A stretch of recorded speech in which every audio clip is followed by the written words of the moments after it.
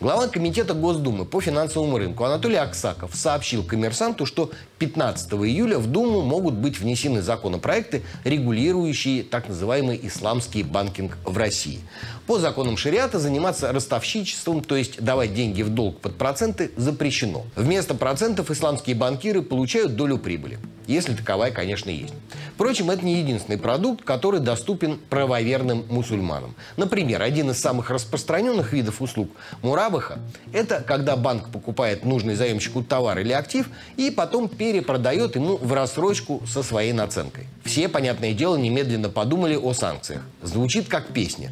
Банк покупает на свои деньги, а потом перепродает уже свой продукт, да еще и в рассрочку. В пояснительной записке к законопроекту особый упор делается на то, что в условиях санкций исламский банкинг для российской экономики – это то, что нужно.